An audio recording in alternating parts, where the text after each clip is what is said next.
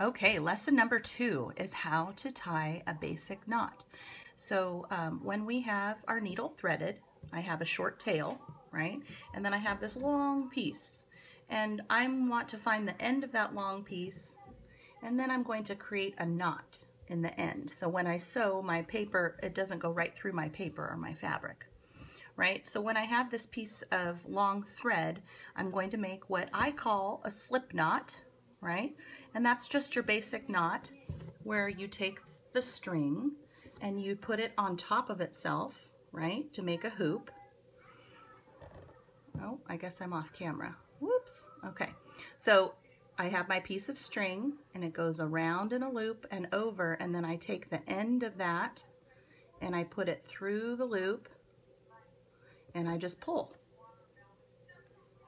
Okay. So that is one single knot. Sometimes one knot is not, one knot is not enough, okay? Because sometimes the hole that your needle makes is larger, so you need to make a double knot. Now, how do you get a knot on top of a knot? Well, we're gonna do it the exact same way, okay? So I'm gonna bring this around to make a loop, and then I'm gonna take the end and put it through the loop, okay? And then when I pull it, do you see where the knot is? I'm just gonna kind of guide it and make sure and try to get those knots right on top of each other, okay? So now I have two knots sitting on top of each other and it makes a nice bump here, which will keep your string from going through your paper.